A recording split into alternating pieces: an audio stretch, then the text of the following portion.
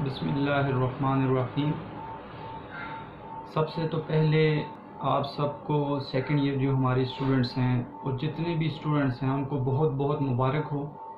आपने एक ऐसा इम्तहान पास कर लिया है, जिसमें आपने पर्चे नहीं दिए। लेकिन बेटा सेकंड ईयर के जो हमारे स्टूडेंट्स चले गए हैं, आप फ़र्स्ट ईयर से प्रमोट हुए हैं, लेकिन सेकंड ईयर के स्टूडेंट्स जो हमारे चले गए हैं उन बच्चों ने फ़र्स्ट ईयर में मेहनत की और आपके सामने जिन बच्चों ने मेहनत की थी, उनका एक इम्तिहान का सिला उनको दूसरे इम्तिहान में भी मिल गया। जिसके फ़र्स्ट ईयर में अच्छे मार्क्स थे, उसको सेकंड ईयर में भी अच्छे मार्क्स मिल गए। और जिसने ये इरादा किया था कि मैं करूँगा और उसको सेकंड ईयर में वो पेपर ना दे सका तो फ़र्स्ट ईयर की मेहनत ना करने की वजह से उनको सेकंड ईयर में भी कम नंबर मिले। अब आपके लिए ये बहुत ज़्यादा ज़रूरी है कि इस साल आप मेहनत करें। उन्होंने फ़र्स्ट ईयर में मेहनत की थी, आप सेकेंड ईयर में मेहनत करें। आपके फ़र्स्ट ईयर के मार्क्स का दारो मदार सारे का सारा बेटा सेकेंड ईयर के ऊपर है। सेकेंड ईयर में इन अगर आप अल्लाह के हुक्म से अच्छे नंबर लेते हैं तो इसका मतलब ये है कि आपको फ़र्स्ट ईयर के भी अच्छे नंबर दिए जाएँगे। और अल्लाह ना करे अगर ये आप सुस्ती करेंगे और इस साल में आप अच्छे नंबर नहीं लेंगे तो इसका मतलब है कि फ़र्स्ट ईयर की मेहनत की हुई भी अगर होगी बच्चों को ज़ाया हो जाएगी। तो ये अनोखी तर्ज का एक, हमारा आज का रिज़ल्ट है और ये ऐसा रिज़ल्ट है जो पहले ही मालूम है। नहीं तो आपको पता है, जब ये रिज़ल्ट आता है तो कितनी ज़्यादा आपको पता है, बेटा टेंशन होती है। हर तरफ़ अजीब सा माहौल होता है, बच्चे उदास नज़र आ रहे होते हैं जिनके अच्छे पेपर नहीं होते। और बाद जो अच्छे वाले होते हैं, वो भी परेशान नज़र आ रहे होते हैं अपने मार्क्स की वजह से, जो ये पहला नतीजा है जिसमें आपको टेंशन नहीं है। लेकिन, बेटा, जो बात मैंने आपको कही है, इसको आपने अब जहन में रखना है कि आपका सारे का सारा नतीजे का दारोमदार अब सेकेंड ईयर के ऊपर है। हर पेपर अब आपका 200 नंबर का हो गया बच्चे। उर्दू का पेपर अब आपका 100 नंबर का नहीं रहा 200 मार्क्स का हो गया है। ठीक है? इसी तरह आपके जो साइंसेस के पेपर हैं 200 मार्क्स के हो गए आपका जो इस दफ़ा का पाकिस्तान स्टडीज़ का पेपर है, वो हंड्रेड मार्क्स का हो गया है। तो इसका मतलब अब आपको ज़्यादा मेहनत करनी है, ताकि आप वो पेपर जो आपने पिछले साल नहीं दिए, अगर कमी रह गई तो आप उससे फ़ायदा उठा सकते हैं। जो बच्चों ने मेहनत की है, वो लगातार मेहनत करेंगे तो इन बहुत अच्छे नंबर आएँगे। तो एक दफ़ा फिर मेरी तरफ़ से आपको मुबारक और उन बच्चों को मुबारक, जो सेकेंड ईयर जो पास कर गए हैं। और बहुत बड़ी बात है बेटा कि हमारे कॉलेज के हिस्से में पोजीशंस भी आई हैं, हमें पता चला है, इंशाल्लाह उसका ऐलान भी हो जाएगा और उनकी मेहनत का फल उनको मिल गया है। उनकी अपनी मेहनत है। उसके अलावा बेटा आपको पता है वालदेन बहुत ज़्यादा मेहनत बच्चों के साथ करते हैं। उनकी हर चीज़ का ख्याल रखना उनकी दुआओं की वजह से होता है। फिर इस के साथ जो है बेटा पूरे का पूरा जो है कॉलेज का स्टाफ होता है। तो वो एक मेहनत नहीं होती है, उसके पीछे कितने लोगों की मेहनत होती है। मैं वो बच्चा जो हमेशा मार्क्स लेता है और मैं उसको ये कहता हूँ कि आपकी पोजीशन के पीछे आप देखें कि आपने वो रास्ता कब इख्तियार किया था, वो स्कूल को याद करें, वो आप मोंटीसोरी को याद करें फ़र्स्ट सेकंड थर्ड को याद करें। आपके वो टीचर जिन्होंने आपको कलम पकड़ना सिखाया, लिखना सिखाया, आपके वालदेन ठीक है, और उसमें मुख्तलिफ़ लोग हिस्सा लेने वाले जो आपके इर्द गिर्द के लोग हैं, जो आपको मोटिवेट करते हैं तो सारे लोग उसमें शामिल होते हैं। तो ये एक बंदे की मेहनत नहीं होती, ठीक है, और इंसान खुद कुछ भी नहीं कर सकता। इंसान सीखता है लोगों से, और वो इंसान जो है हमेशा सीखता रहे तो इसमें उसको कामयाबी बनती है। जब वो ये समझ जाता है कि मैंने बहुत कुछ कर लिया है, और मैं इससे आगे जो है मुझे ज़रूरत ही नहीं है तो फिर वो, मैं कहता हूँ, इंसान मर जाता है। क्यों आपकी एक मेहनत का सिलसिला ख़त्म हो जाता है?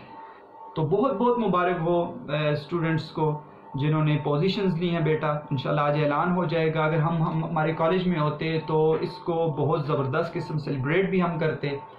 लेकिन क्योंकि अभी वो हालात नहीं हैं, इंशाल्लाह कॉलेज खुलेंगे, हम उनको बुलाएँगे हमारे बच्चों को और हम सेलिब्रेट भी करेंगे।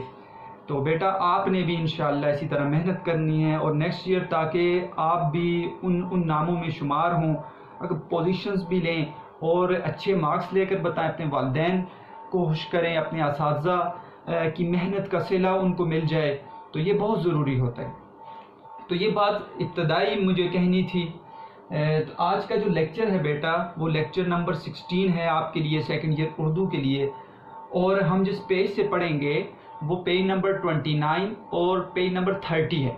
ठीक है, हमने सबक शुरू किया हुआ है फिर वतनीत की तरफ़। ये एक मजमून है जो सलाहुद्दीन अहमद का लिखा हुआ है और जिस सबक में शामिल है, जिस किताब में, उस किताब का नाम है तस्वुरात इकबाल। इसके ऊपर हमने बात की थी तस्वुरात इकबाल के अंदर। इकबाल के मुख्तलिफ़ जो फ़लसफ़े हैं, उनको सलाहुद्दीन अहमद ने बताया है। बेटा, ये जो सबक है, ये आपके लिए थोड़ा सा मुश्किल भी लगता है बच्चों को मैंने जैसे पहले बताया था और बच्चों ने फिर दोबारा सवाल भी किए। देखिए, आपने एक सबक टेंथ में पढ़ा है, डॉक्टर वहीद कुरैशी का लिखा हुआ है इलामा इकबाल का तस्वुर वतनीत इलामा इकबाल का तस्वुर वतनीत उसको जहन में रखें, पिछले साल के मैंने आपको सबक बताए नज़रिया पाकिस्तान, आप उसको जहन में रखें तो आपको ये सबक आसान लगेगा। असल मसला ये है कि वहदत मिलत और तस्वर वतनीत इन दोनों के के अंदर मफहम क्या बनता है, इसको बच्चे नहीं समझते, या इन दोनों के रास्ते क्यों जुदा हैं, इसको नहीं समझ रहे। देखिए बेटा मैंने आपको बताया, वहदत मिलत का मतलब यह है, देखिए, हम मुसलमान हैं। पहली बात तो ये, हम मुसलमान हैं। बहसीत मुसलमान होने के और बहसीत हम अगर देखें अपने इस्लाम को तो इस्लाम हमें ये कहता है कि तमाम मुसलमान आपस में भाई भाई हैं। वो देखें, वतन का नहीं कहता हमें। हमें रंग और नस्ल का नहीं कहता। हमें कहता है, बस जिधर भी रहने वाले मुसलमान हैं, वो आपस में भाई भाई हैं। तो ये है वहदत मिलत कि तमाम मुसलमान एक हैं। ठीक है? ये कौन हमारा दीन हमें बता रहा है। अब जब हम तस्वर वतनीत को देखते हैं तो तस्वर वतनीत इससे जुदा है। क्यों? देखें जब वतन हासिल करते हैं तो हम वतन के मफाद को तरजीह दे देते हैं पूरे दुनिया के मुसलमानों के मफाद पर। हम अपने वतन को आगे ले आते हैं और हम कहते हैं, हमें पहले वतन चाहिए, हम अपने वतन को बाकी रखेंगे। हम मुसलमानों का ख्याल पूरी दुनिया के अंदर नहीं रखते। अब इसके अंदर ये है कि इस्लाम ये कहता है कि वतन के आने से अगर वतन परस्ती आप शुरू कर दें तो एक बुद्ध बना लें तो इस्लाम के अंदर जो एक इतिहाद है, वो टूट जाता है। इस वजह से जुदा है। लेकिन इस सबक में बेटा इन दोनों चीज़ों को मिलाने की कोशिश की गई है। लामा इकबाल का तस्वर वतनीत जो डॉक्टर वहीद कुरैशी है, इन दोनों चीज़ों को मिलाने की कोशिश की गई है कि देखिए, हिंदुस्तान के अंदर जिस वक्त अभी पाकिस्तान आज़ाद नहीं हुआ था तो जो मुसलमान मौजूद थे, उनका जज्बा पहले यह था कि पूरी दुनिया के मुसलमान इकट्ठे हो जाएँ। हिंदुस्तान के भी टुकड़े ना हो। हिंदुस्तान के अंदर आप पाकिस्तान और भारत के ये टुकड़े ना करें। ये नज़रिया था। लेकिन जब देखा कि हम हिंदुओं के साथ नहीं रह सकते फिर एक तस्वर पाकिस्तान, जो एक इलादा वतन है, उसको पेश किया। तो बेटा, जो पहले तस्वर था, वो ये नहीं था कि हम पाकिस्तान ले लें, हम वतन ले लें। वो पूरी दुनिया के मुसलमानों का इकट्ठा होना एक तस्वर था, लेकिन वो पूरा नहीं हो सकता था। इस वजह से इकबाल ने तस्वर पाकिस्तान पेश कर दिया। लेकिन अब पाकिस्तान का जो, जिसके हम खिलाफ थे कि पाकिस्तान एक इलादा वतन हम ना ले, आखिर वो ये तस्वर पेश कर दिया। तो अब इसको हम कैसे मिलाएँगे कि हम इसको वहदत मिलत से मिलाएँ? कि हम उस नज़रिए के मुखालिफ तो नहीं हैं कि हमने पाकिस्तान जो हासिल किया है, वो सिर्फ़ उस वक्त को देखते हुए, वक्त, हालात को देखते हुए हमने पाकिस्तान हासिल किया है। अगर पाकिस्तान की हम हिफाजत करेंगे और पाकिस्तान के अंदर हम ये नज़रिया रखेंगे कि हम पाकिस्तान के अंदर रहते हुए, पूरी दुनिया के मुसलमानों के हाथ बन जाएँगे, उनके बाजू बन जाएँगे उनके साथ मिलकर काम करेंगे इतिहाद काम कर, कायम करेंगे फिर तो हमारा पाकिस्तान हासिल करना ठीक है। लेकिन अगर हम पाकिस्तान का बुद्ध बना के बैठ जाएँ हम पाकिस्तान के अंदर सूबों का बुद्ध बना के बैठ जाएँ और मुख्तलिफ़ नस्लों का बुत बना कर बैठ जाएँ तो फिर ये इस्लाम के जो है मुखालिफ चीज़ बन जाती है और ये नुकसान दे साबित होगा किसके लिए? इस्लाम के इतिहाद के लिए। वतन आप बनाएँ लेकिन आपस में एक होकर रहें। तमाम मुसलमान दुनिया के एक होकर रहें ताकि गैर जो है हम पर हमला ना कर सकें और हमारा असल मकसद क्या है दुनिया में आने का कि हमने एलाए कलमतुल्ला करना है। अल्लाह कलमतुल्ला का मतलब ये अल्लाह का मतलब बुलंद करना। अल्लाह ताला के कलमे को बुलंद करना, यानी अपने दीन को आगे फैलाना। तो हम दीन को तब आगे फैलाएँगे जब हम साथ मिलकर काम करेंगे पूरी दुनिया के मुसलमान। तो वतन हासिल करना कोई भी ऐब नहीं है। लेकिन उस वक्त, जिस वक्त आपका नज़रिया ये हो कि हम मुसलमान हैं और पूरी दुनिया के मुसलमान हम एक हैं, हम साथ मिलकर काम करेंगे। हम उन गैर मुस्लिम जो अजीब तरीके से हथकंडे इस्तेमाल करते हैं और अजीब तरीके से साजिशें करते हैं, उनके साथ नहीं मिलेंगे, बल्कि हम अपने मुसलमान भाइयों के साथ रहेंगे। तो इस चीज़ को जब आप समझ जाएँगे तो आपके लिए सबक को समझना मुश्किल नहीं होगा। वतनीत की तरफ़ आने का मतलब ये है कि पहले हम मिलत के कायल थे। मिल्लत और वतनीयत। बस इन दो चीज़ों को समझें। मिल्लत के कायद थे कि पूरी दुनिया के मुसलमान एक हो जाएँ, लेकिन हम वतनीयत की तरफ़ आए, मजबूरी थी। ठीक है, वो मिल्लत हम किसी दौर में भी बनी नहीं है, मुश्किल हो जाती थी। और मिल्लत जो है, उसका फ़रोग हम तब दे सकते हैं कि मुख्तलिफ़ वतन जो अपनी जगह पर हों, वो मज़बूत हों मुसलमानों के। तो इसको, भाई बेटा, समझना इसलिए आपके लिए आसान हो जाएगा, जो अभी मैंने बात की, अगर आप इसको समझ जाएँ। अब हमने सफ़ा नंबर जो है बेटा 27 और 28 का भी काफ़ी हिस्सा हमने पढ़ लिया था और काफ़ी सवालात भी हमने हल कर लिए थे। अब आज के सबक में हमने एक तो बेटा मारूरी सवालात कुछ देखने हैं, ठीक है? ये आपके लिए मैं बार बार इसलिए कहता हूँ, ज़रूरी हिस्सा है। इसको आप देखें और यहाँ पे कुछ लिखे होते हैं मारूरी सवालात, बीच में मैं बताऊँगा भी आपको कि आप मारूरी सवालात कैसे आते हैं और कैसे निकालेंगे। पर हम जो है बेटा मुश्किल अल्फाज के मानी बुक पर लिखने पड़ते हैं, आपने लाजमी लिखने होते हैं, ज़रूरी होते हैं, किसी भी पैराग्राफ की तशरी के लिए, किसी भी जुमले को समझने के लिए मुश्किल अल्फाज के मानी ज़रूरी हैं। इसके बाद बेटा हम आएँगे मशकी सवालत की तरफ़। तो मैंने आपको बताया था दो तरह के मशकी सवालत हैं। पहले जो हिस्सा है मशकी सवालत का, वो है मुख्तसर, जो पेज नंबर थर्टी पे है। आप देखेंगे किताब को पेज नंबर थर्टी पे मुख्तसर, काफ़ी सवालत हैं। हमने काफ़ी हल भी कर लिए थे। इस तरह थर्टी वन पे जाएँगे तो मुफसल हैं। मुख्तसर और मुफसल तो एक ही जैसे हैं बेटा मुफसल वहाँ पर आते नहीं हैं हमारे पेपर के अंदर। तो मुख्तसर मुफसल को भी बाज़ वो मुख्तसर बनाकर सवाल दे देते हैं। तो हमने तो सारे सवाल करने हैं, कोई सवाल छोड़ना नहीं है। तो यहाँ पर बेटा जो ब्लू मार्कर के अंदर आपको पिक्चर जो मैं सेंड करता हूँ, उसमें वाजे नज़र आ जाते हैं, ब्लू मार्कर या ब्लैक मार्कर तो यहाँ पर ब्लू मार्कर के अंदर जो लिखा हुआ है, ये मुख्तसर हैं। और जो ब्लैक मार्कर के साथ सवाल लिखा हुआ है, जहाँ पर मैंने, इसका मतलब है वो मुफसल है। क्यों? अलिफ बे जीम उसमें भी है और अलिफ बे जीम मुफसल में भी है और मुख्तसर में भी है। तो आप मुगालता ना खा जाए, गलती ना हो जाए आपसे। तो इसलिए यहाँ पर मैंने लिखा है। आज हम मुख्तसर सवाल सवाल जे हल करेंगे, ठीक है? और उसके बाद सवाल बे और जीम हल करेंगे, ठीक है? यानी तीन हमने मुख्तसर हल करने हैं और मुफसल में से सवाल नंबर दाल है, हे और जीम है। तीन सवाल ही हमने मुफसल भी हमने हल करने हैं। ठीक है, कुछ सवाल ऐसे हैं बेटा जो आपकी जो नोट्स के अंदर या आपको ऐसी हेडिंग्स नहीं मिलेंगी। इन हेडिंग्स को आपने देखकर आपने लिखना है और कहीं पर कोई मसला है तो मुझसे पूछ लेना है। आपने हेडिंग्स नहीं छोड़नी किसी तौर पर भी। हेडिंग से सवाल अच्छा लगता है और आसान भी हो जाता है। इसके बाद बेटा हम कुछ अशार को देख लेते हैं। ठीक है, अशार ज़रूरी हैं और अशार के अंदर बेटा दो चीज़ों को मैंने बयान करने की कोशिश की है। एक तो हम मिल्लत। पूरी दुनिया में मुसलमानों का एक होना। इसके ऊपर भी अशार है और एक है वतनीत के वतन के साथ मोहब्बत। ठीक है? इसके ऊपर भी मैंने दो अशार ज़िक्र किए हैं। एक शेर तो आपकी किताब के अंदर है, जो हमने पढ़ा है, पेज नंबर थर्टी पर। वो भी ज़रूरी है, वो आपने याद करना है, और वो हमारा सवाल भी है कि एक हो मुस्लिम, हरम की पासबानी के लिए नील के साहिल से लेकर ताबहा के काशगर। ठीक है? एक तो ये शेर है, इसको मैं उस मौके पर ही बयान करता हूँ, जब सवाल आएगा, आखिर में आएगा। इसके अलावा जो शार है बेटा, इनको देख लें। एक शेर है, बुताने रंगो खून को तोड़कर, मिल्लत में गुम हो जा। ना तुरानी रहे बाकी, ना ईरानी, ना अफगानी। के रंगो खून के जो बुत हैं, इनको तोड़ दे तू वतनीत के बुत।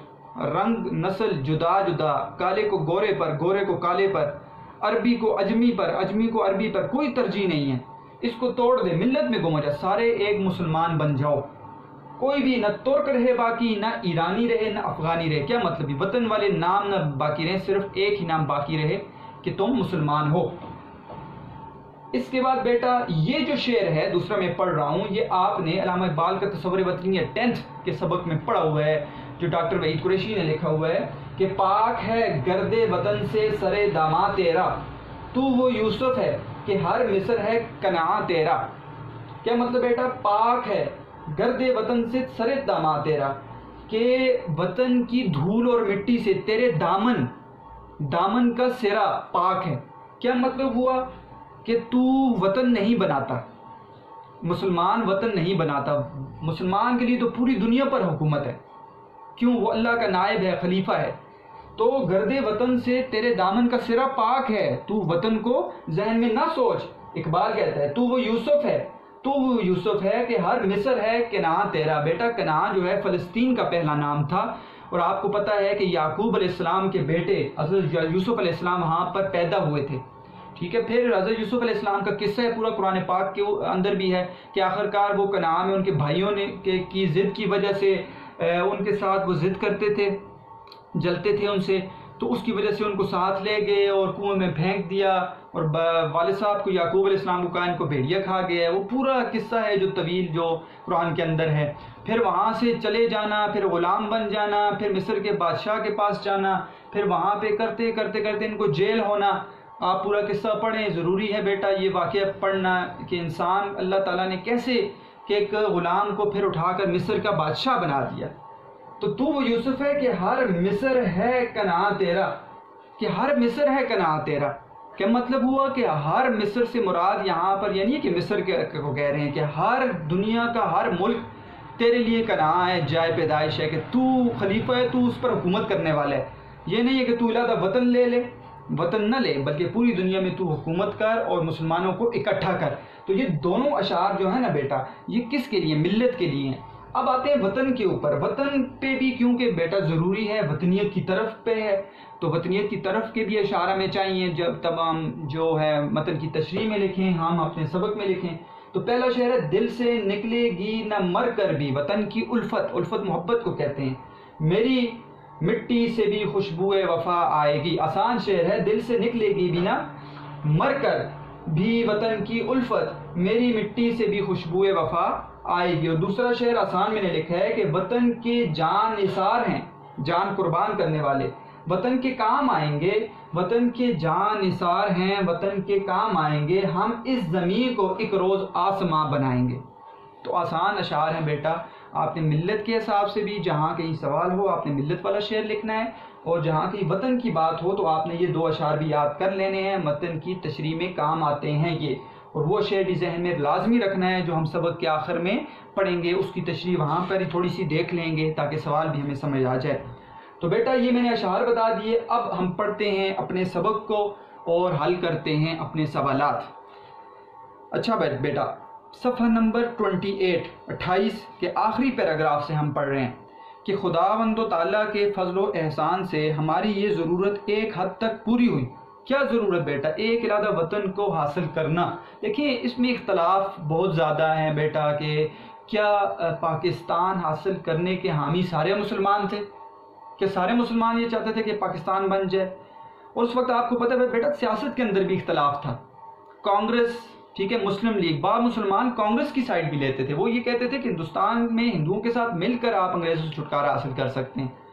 ठीक है, और पहले ये किया भी, लेकिन बाद में ये समझ गए कि हिंदुओं के साथ हम नहीं रह सकते। मुश्किल है हमारे लिए उनके साथ रहना। मुस्लिम लीग का क्याम आया तो ये आप जब पाकिस्तान स्टडीज़ पढ़ते हैं या तारीख उन पर नज़र रखते हैं तो आपको ये सारी चीज़ें नज़र आती हैं।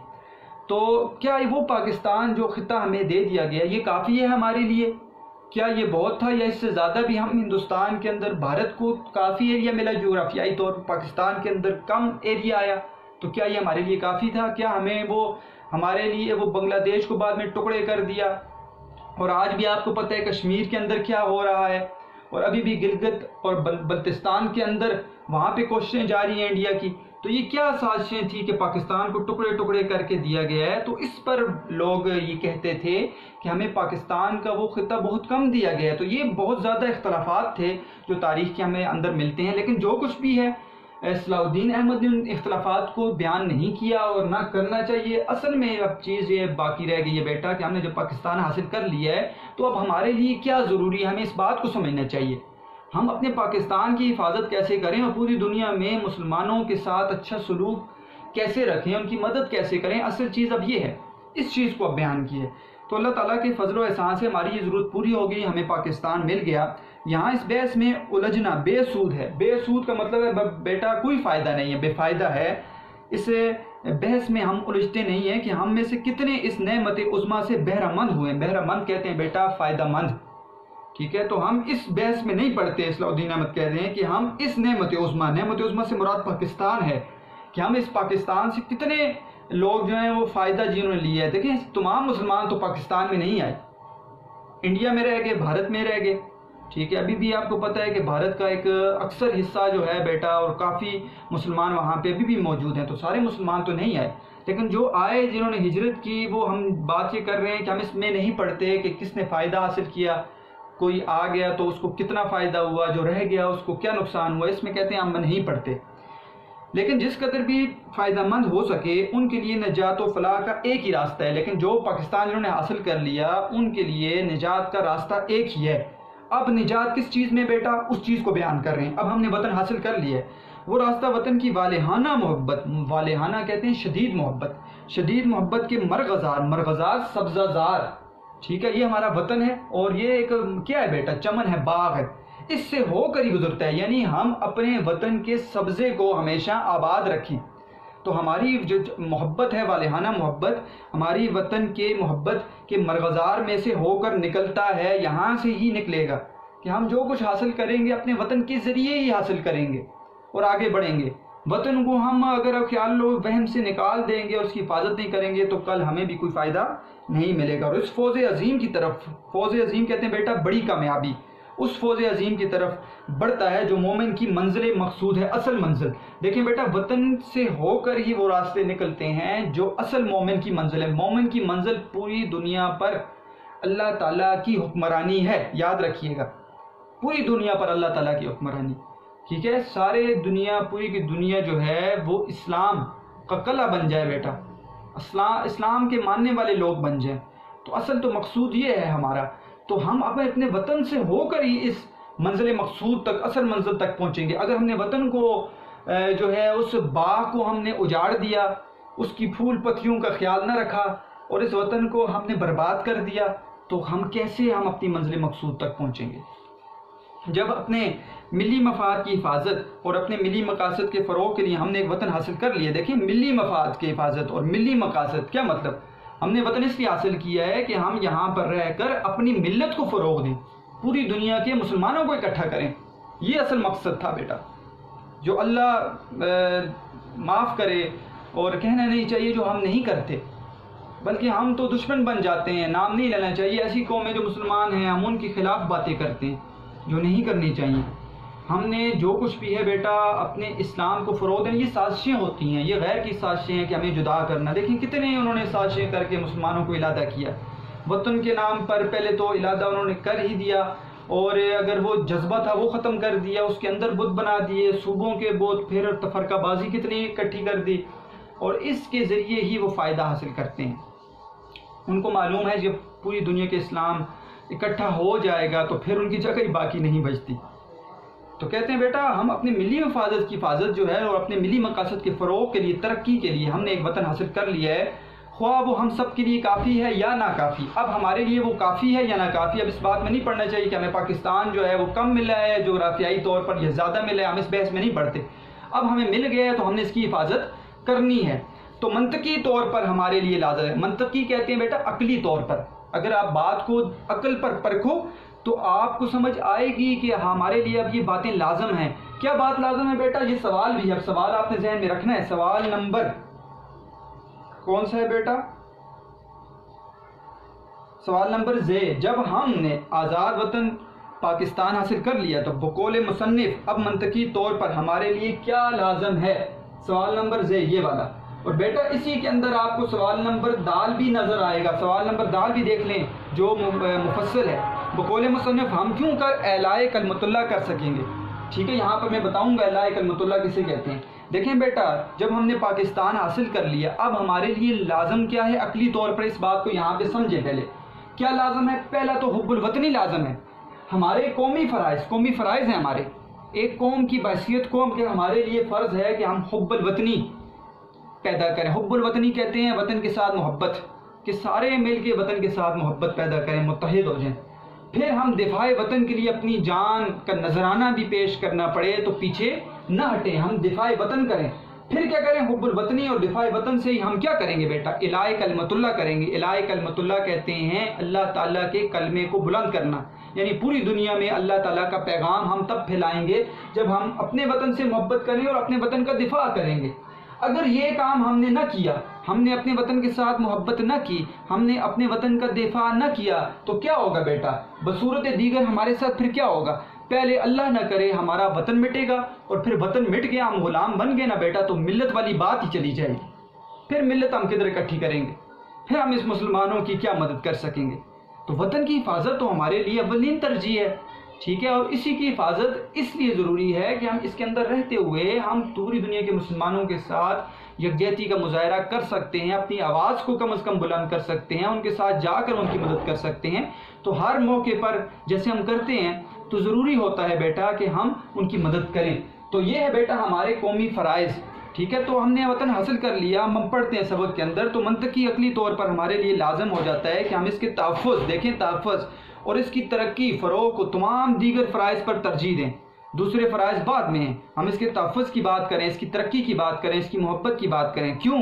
क्योंकि न सिर्फ़ हमारे अमाल हसना, अच्छे अमाल, नेक अमाल, न सिर्फ़ हमारे मकासद मिली बल्कि ख़ुद हमारी अस्थि हमारी जानें और हमारे जिसम, हमारे घर बार और हमारे मौक़े और हमारे इम्कान इसकी सलामती से वाबस्त हैं। देखें, वतन की सलामती से क्या कुछ वाबस्त है? वतन सलामत रहा ना बेटा तो हम अच्छे अमाल करेंगे, हम नेकी के काम करेंगे, ठीक है? ग़ुलामी के अंदर आप मज़हब की आज़ादी भी नहीं होती, आप नेक अमाल भी आपसे रह जाते हैं। हमारे हंसना क्या होंगे बेटा? होंगे जब वतन कायम रहा। फिर मकासद मिली मिली मकासद, पूरी दुनिया में मुसलमानों का इकट्ठा होना, ये हम हासिल कर सकेंगे जब हमारा वतन सलामत रहेगा। हमारी अपनी जान सलामत रहेगी जब वतन सलामत रहेगा। हमारा जिस्म सलामत रहेगा जब वतन सलामत रहेगा। हमारा घर बार सलामत रहेगा, जब वतन सलामत रहेगा।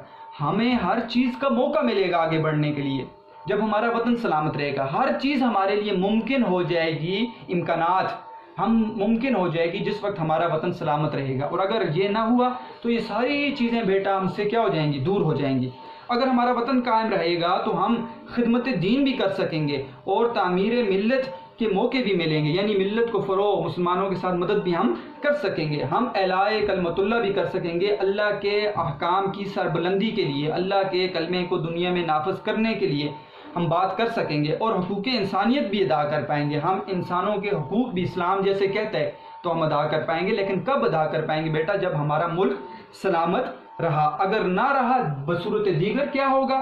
लेकिन अगर खुदा न खास्ता, ठीक है, अल्लाह ना करे, वतन को जोफ पहुँचा जोफ कहते हैं, कमज़ोरी। ठीक, नुकसान यहाँ पर आप तर्जुमा करें। नुकसान पहुँचा, मुल्क पर कोई आफत आई, मुश्किल आई तो हम, ना हम बच रहेंगे और ना हमारे मुसलमानी बची रहेगी। और हाकम बदहन हाकम बदहन कहते हैं, मेरे मुँह में खाक। ठीक है? खाक में बदहन। क्या मतलब बेटा, मेरे मुँह में खाक? ये जुमला उस वक्त बोला जाता है, बेटा जिस वक्त हम कहते हैं कि अल्लाह ना करे, हम जैसे कहते हैं अल्लाह ना करे तो ये जुमला उस वक्त बोला जाता है कि अल्लाह ना करे खाकम बदहान मुल्क का जवाल, मुल्क का ख़त्म होना, मिल्लत का जवाल बन जाएगा। मुल्क का जवाल आखिर आखिरकार क्या होगा? पूरी दुनिया में फिर इस्लाम के लिए हम क्या बात कर सकेंगे? ठीक है, फिर हम कोई भी बात है इस्लामी मुल्क मिटता है ना बेटा तो पूरी दुनिया में मुसलमानों के नुकसान होता है। वो एक इस्लामी मुल्क नहीं मिटा, वो पूरी दुनिया में इस्लामों की शनाख्त, इस्लाम की शनाख्त मिट जाती है। तो इसलिए हमारे लिए बेटा वो आपको समझ आ गई होगी। सवाल नंबर जे की, दाल मतकी तौर पर हमारे लिए क्या लाजम है? खुबुल वतनी लाजम है दिफा वतन लाजम है, हम इलाह कलमतुल्ला कर सकेंगे। न किया तो फिर मुल्क का जवाल, मिल्लत का जवाल बन जाएगा। तो ये सवाल नंबर जे में आपने ये हेडिंग्स देनी है बेटा, और इसी से आपने सवाल करना है। मुझे उम्मीद है ये सवाल आपको समझ आ गया होगा। सवाल नंबर दाल इसी तरह का है बकौल मुसनफ़ हम क्यों कर एलाए कलमतुल्ला कर सकें? तो बेटा एलाए कलमतुल्ला की इस सवाल में, सवाल नंबर दाल में जहन में रखें हेडिंग ऊपर ले आनी है। ठीक है? एलाए कलमतुल्ला हुब्बुल वतनी, दिफाए वतन, बसूरत दीगर। तो आपका सवाल ठीक हो जाएगा, आपने सिर्फ़ हेडिंग को ऊपर लाना है। ठीक है? इलाकलमतुल्ला पूछा गया है तो इलाकलमतुल्ला का मतलब लिखना है। इलाकलमतुल्ला से मुराद अल्लाह के अहकाम की सरबुलंदी। अल्लाह के जो है वो अल्लाह के दीन को पूरी दुनिया में फैलाना। तो ये ऊपर ले आना है, फिर हुबुल वतनी को बयान करना है दिफा वतन को बसूरत दीगर। ये इसलिए कह रहा हूँ बेटा कि आपका सवाल नंबर जे जो है ना, वो नोट्स के अंदर उसमें हेडिंग्स नहीं है। तो ये सवाल आपने अच्छी तरह देख लेना है। तो ये सवाल बेटा आपका हल हो जाता है यहाँ पर। आगे पढ़ते हैं हम। जहाँ तक इस बड़े अजीम का ताल्लुक है बड़े अजीम पाको हिंद। देखिए बेटा बड़े अजीम पाको हिंद कहलाता था। पहले पाकिस्तान भी था, हिंदुस्तान भी था और हिंदुस्तान के अंदर मुसलमान भी हैं। हमें वो भी हमारे भाई हैं। ये नहीं है कि हम ये सोचें कि भारत जो है वो सिर्फ़ हिंदुस्तान का है, हिंदुओं का मुल्क है, नहीं, उसके अंदर मुसलमान भी हैं। मुसलमान तो हमारे भाई हैं, ठीक है, और हमें उन, उनके लिए फ़िक्र करनी चाहिए, सोचो फ़िक्र, उनके साथ मोहब्बत का जज्बा रखना चाहिए। जहाँ तक बर अजीम का ताल्लक है, क्या में पाकिस्तान के बाद हमारा महाज यकसर बदल चुक, चुका है? ठीक है, हमारा महाज जिस चीज़ का सामना हो, जब हमने, देखें बर अजीम का ताल्लक है, जैसे पाकिस्तान तो हमने हासिल कर लिया। अब हमने पूरे पा, पाको हिंद के साथ क्या शुरू करना है? ठीक है? तो उसका कह रहे हैं कि हमें पाकिस्तान के बाद हमारा महाज अक्सर बदल चुका है। अब वतन और मिलत के मफाद मुतजाद नहीं रहे। अब वतन और मिलत का मफाद मुतजाद नहीं हमने वतन हासिल कर लिया तो मिलत भी हमारे लिए ज़रूरी है। हम इंडिया में रहते हुए भी ठीक है जो मुसलमान हैं हमारे भाई हैं और अफ़गानिस्तान में रहते हुए हमारे भाई हैं ठीक है? इसी तरह बेटा आप कह सकते हैं कश्मीर। के रहने वाले लोग हमारे भाई हैं।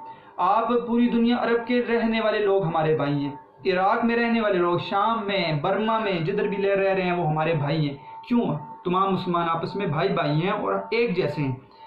तो हमें ये जहन में नहीं रखना चाहिए कि हमने वतन बना लिया तो हमें हम पाकिस्तानी हैं तो वो जाने, उनका काम जाने। नहीं। हमें उनके लिए फ़िक्र करनी पड़े, पड़ेगी, उनके लिए सोच रखनी पड़ती है, जज्बा रखें। ऐसे जज्बा रखें कि जैसे कहते हैं ना कि आपका हाथ का एक उंगली आपकी कटी है तो पूरे जिसम को दर्द होता है, नहीं होता। तो इसी तरह बेटा मुसलमान के ऊपर कोई आफत आ जाए तो मुसलमान, हर मुसलमान को ये महसूस हो कि मेरे भाई के ऊपर आफत आई है, ये असल मोहब्बत है। तो ये वतन के अंदर रहते हुए भी हो सकती है। तो वतन और मिलत का मुफाद मुतजाद नहीं रहे। अब हमने वतन को हासिल कर लिया, हमारा माज तब्दील हो गया, अब हम वतन को मिलत से जुदा नहीं करते, बल्कि हम आहंग हो गए हैं, बल्कि एक जैसे हो गए हैं। हम वतन के अंदर रहते हुए मिलत का फ़रोग कर सकते हैं। तो देखिए लड़ाई झगड़ा ख़त्म हो जाता है कि दीन तो कहता है कि मिलत ज़रूरी है, वतन ज़रूरी नहीं है। लेकिन हम वतन के अंदर रहते हुए भी मिलत को फ़रोग दें, तरक्की दें तो फिर इसमें कोई इख्तलाफ नहीं है। और एक का फ़रोग दूसरे की तरक्की का जामन है। यानी कि अगर वतन आगे बढ़ेगा तो मिलत भी आगे बढ़ेगी। इसके साथ हम पर एक नई ज़िम्मेदारी भी आयद होगी। एक ज़िम्मेदारी यहाँ पर बताते हैं, देखें। ठीक है, हम ये बात तो करते हैं कि मुसलमान एक हैं। लेकिन देखें बेटा, वो लोग भी हैं जो पाकिस्तान में, जो हिजरत के वक्त, पाकिस्तान के बनने के वक्त यहाँ पर रह गए। गैर मुस्लिम लोग या वो लोग जो मुसलमान नहीं हैं, उनके साथ हमारा सलूक क्या होगा? क्या वो भी हमारे साथ पाकिस्तानी कहलाएँगे या नहीं कहलाएँगे? अगर वो देखें मिलत के लिए फ़रोग नहीं करते। वो इस्लाम की बात नहीं करते, लेकिन पाकिस्तान के अंदर रहते हुए वतन की तरक्की में तो अहम किरदार अदा कर सकते हैं। हम उनके हकूक़ के तहफ़ करेंगे। हम उनको पूरा तहफ़ देंगे, उनकी जाल, माल, आबरू, इज़्ज़त की तहफ़ जो है वो इसे पाकिस्तान की ज़िम्मेदारी है। लेकिन इसके बाद वो पाकिस्तान के लिए काम करेंगे। हम सारे मिल के पाकिस्तान को तरक्की देंगे और मुसलमान खसूस जो है वो फिर मिलत की बात करेंगे। तो यहाँ पर गैर मुस्लिम पाकिस्तानियों की बात कर रहे हैं बेटा। एक करोड़। अब यहाँ पे बेटा आपको ये सवाल नज़र आएगा कौमी नस्बुलैन क्या है? तो यहाँ पे जहन में रखेंगे, इसके बाद पढ़ते हैं फिर सवाल। एक करोड़ जो गैर मुस्लिम पाकिस्तानी हैं, उनकी ज़िम्मेदारी है, ज़ाहिर है कि क्या हमें पाकिस्तान में उनकी किसी किस्म की आरज़ू ने हिस्सा नहीं लिया, उनकी कोई ख्वाहिशात नहीं थी, बल्कि वो खुद ब खुद इसके हिस्से में आ गए। उन्हें मुफीद शहरी बनाने के लिए और उनके और अपने दरमियान एक बुनियादी हम आहंगी मोहब्बत कायम करने के लिए और मकसदी, यानी एक मकसद के लिए लाजम है कि हमारे सामने एक मुश्तर नस्बुलैन हो, नस्बुलैन इज्तमाही मकसद हो। जिसके तकदस से ना उन्हें मजाल इनकार हो जिस के पूरे होने पर, ठीक है? उनको भी कोई ज़रूरत ना हो, मजाल कहते हैं ज़रूरत। वो भी ज़रूरत ना करें कि उनको इनकार हो और ना हमें या राय इनहराफ, और ना हम इससे क्या नफरमानी करें? इनहराफ का मतलब नफरमानी। यानी कि ऐसा इज्तमाही मकसद बयान हो, जिससे वो भी ना हटें और हम भी ना हटें। बस आसान बात कि ये नस्बुलैन वतन परवरी और वतन दोस्ती के सिवा और क्या हो सकता है? ठीक है, वो मिलत की बात नहीं करेंगे, गैर मुस्लिम है। लेकिन वतन दोस्ती की तो बात कर सकते हैं। वतन तो उनका ये सब कुछ कर रहे हैं। तुम्हारा नस्बुलैन क्या है बेटा? वतन दोस्ती और वतन परवरी। यही नस्बुलैन इनकी वफादारी का जामिन है। यही वफादारी है उनकी। और ममलिकत की सलामती का सहारा होगा। और उसी वजह से मुल्क की अक्सरियत और अकलीत हाथों में हाथ दिए आगे बढ़ेंगे। ठीक है? अक्सरियत और अकलीत। अकलीत वो होते हैं जो गैर मुस्लिम है बेटा। अक्सरियत क्योंकि मुसलमानों की है यहाँ पर तो हम अक्सरियत हैं और अकलीत वो हैं जो गैर मुस्लिम हैं। हाथों में हाथ दिए मावरतन, हाथों में आगे बढ़ना। ठीक है, फलाह के लिए काम करना, तरक्की के लिए काम करना मुल्क की फलाह, बहबूद, बेहतरी में बराबर का हिस्सा वो भी लेंगे, क्योंकि वो भी पाकिस्तानी हैं। अब कि हम आज़ाद हो चुके हैं? हमारी वतन दोस्ती, हमारी, हमारे मिली रवाबत पर गालिब न आएगी। ये जुमला बड़ा अहम है बेटा। कहते हैं, हमने आज़ादी हासिल कर ली है हमारी वतन दोस्ती। हम आपस में एक तो पहले वतन दोस्ती रखेंगे, हम सारे पाकिस्तानी हैं। फिर हमारी ये वतन दोस्ती हमारे मिली रबतों पर गालिब ना आएगी। ठीक है? कि हम उसके ज़रिए फिर क्या हासिल कर सकते हैं? मिली रवाबर। रवाबर रबते की जम है। रबता कहते हैं ताल्लुक को। कि हम मिली ताल्लुकात भी, यानी पूरी दुनिया के आलम के मुसलमानों को भी इकट्ठा कर सकते हैं। ये नहीं है कि हम वतन दोस्ती का नाम लेते रहें और मिली रबते को ख़त्म कर दें। या फिर मिली रबते को शुरू कर दें और वतन दोस्ती को छोड़ दें। नहीं, दोनों को साथ मिलाकर चलना है। और ना उन्हें नुकसान पहुँचाएगी। जहाँ तक हमारा तल्लक है हम क्या करेंगे? हम शायर इस्लाम इलामा इकबाल मुराद हैं बेटा, कि इस आरज़ू ख्वाहिश को बर लाने के लिए बर लाना, पूरा करना। हमेशा सर बकफ रहेंगे। सर बकफ से मुराद है, कफ हथेली को कहते हैं बेटा, और सर सर को कहते हैं, यानी कि सर हथेली पर।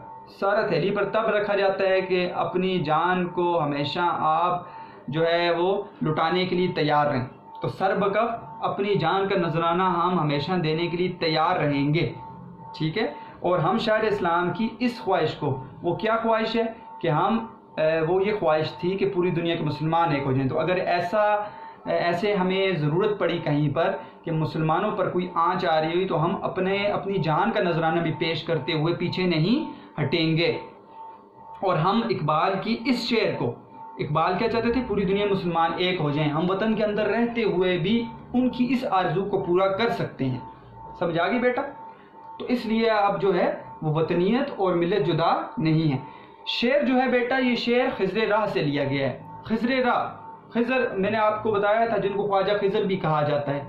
ठीक है, आपने फ़र्स्ट ईयर में अपनी मदद आप में पढ़े खजर। राह रास्ते को कहते हैं। खजर का रास्ता मतलब ये क्या हो गया, खजर राह से मुराद रहनुमा है। रहनुमा रहनुमा वो होता है जो आपको रास्ता दिखाता है। तो ये एक तवील नज़म है इकबाल की, बड़ी खूबसूरत बांगे दरा में शामिल है इकबाल की। और बेटा ये जो इकबाल की ये नज़म है, ये इकबाल ने 1922 में 1922 में अंजुमन हिमायत इस्लाम के एक सालाना जलसे में ख़ुद तरन्नुम से पढ़कर सुनाई थी 1922 में। और कहते हैं, जिस वक्त वो पढ़ रहे थे, बाकायदा उनकी आँखों से आँसू जारी हो गए, वो रोने लग गए थे। यानी ऐसी लिखी हुई थी इन्होंने ये नज़म। इस नज़म के अंदर मुसलमानों के मुख्तलिफ़ हालात का ज़िक्र है बेटा, और वो खज़र उसका जवाब देते हैं। खज़र इस्लाम जिनको कहा जाता है, उनका जवाब देते हैं। तवील नज़म है, ये पढ़नी चाहिए हर बच्चे को। तो इसके अंदर ये शेर शामिल है कि एक हो मुस्लिम, एक हो मुसलमान हरम की पासबानी के लिए, हरम कहते हैं काबे को, पासबानी हिफाजत। नील के साहिल से लेकर ताब खा के काशगर, नील, मिस्र का एक लंबा दरिया बेटा। उसके साहिल से लेकर ताबा खाक ताबा खाक खाक तक, ठीक है? फारसी में कहते हैं ताबा खाक, काशगर, खाक मिट्टी को कहते हैं। काशगर चीन का एक मशहूर बेटा शहर है जिसमें मुस्लिम जो थे, मुसलमान अक्सरियत वहाँ पर होते थे और वहाँ पर रहते हैं काशगर। तो कहते हैं, मुसलमान एक हो जाएँ किसकी हिफाजत के लिए? काबे की हिफाजत के लिए। कहाँ से, कहाँ तक? वो मिस्र से लेकर चीन तक एक हो जाएँ। मतलब ये कि पूरी दुनिया में मुसलमान काबे की हिफाजत के लिए एक हो जाएँ।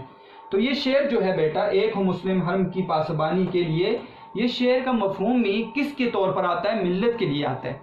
वतन की बात यहाँ पर नहीं है, मिल्लत के तौर पर आता है, लेकिन हम कहते हैं कि हमने वतन हासिल कर लिया और इकबाल ने तस्वर वतनीत पेश कर दिया तो उस उसके होने के बाद अब हम मिल्लत को भी आगे बढ़ाएँगे। फिर कोई इसमें इख्तलाफ बाकी नहीं रहेगा। अब हम देखते हैं बेटा जो हमारे सवाल रह गए हैं। सवाल नंबर जीम और सवाल नंबर बेटा बे, इन दोनों का एक ही जवाब है, जो मुख्तसर है। ठीक है, सवाल नंबर बे और जीम बे सवाल, मुख्तसर, हमारा कौमी नस्बुल एन क्या है?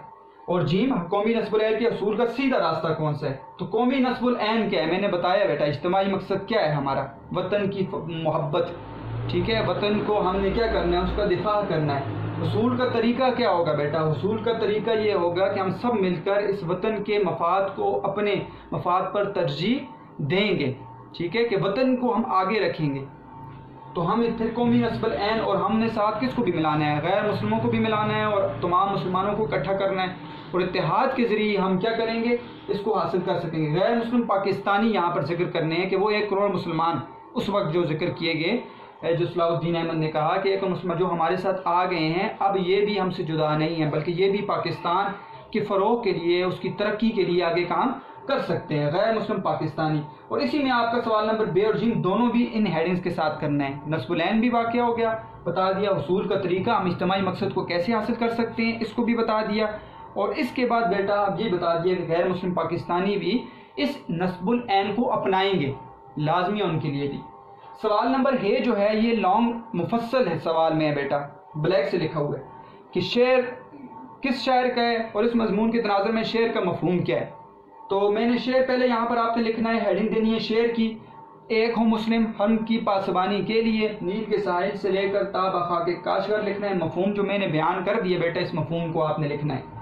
सवाल नंबर जीम सवाल नंबर जीम जो है मुफसल सवाल है। मिलत इस्लामिया के तहत के ज़मन में पाकिस्तान क्या किरदार अदा कर सकता है? यानी पूरी दुनिया में मुसलमानों के इकट्ठा करने के लिए पाकिस्तान क्या कर सकता है? तो वतन दोस्ती और मिली रवाबत, ये अब जुदा नहीं है। पहले तो ये बात समझ लेनी है कि हम वतन दोस्ती रखेंगे, लेकिन मिली रवाबत भी हम साथ रखेंगे, पूरी दुनिया के मुसलमानों का साथ भी देंगे। फिर क्या होगा बेटा? जो आखिरी पैराग्राफ पढ़ा है, हम हम जो हैं वो इस शायर इस्लाम की इस सोच के लिए हम क्या करेंगे? हम सर बकफ रहेंगे।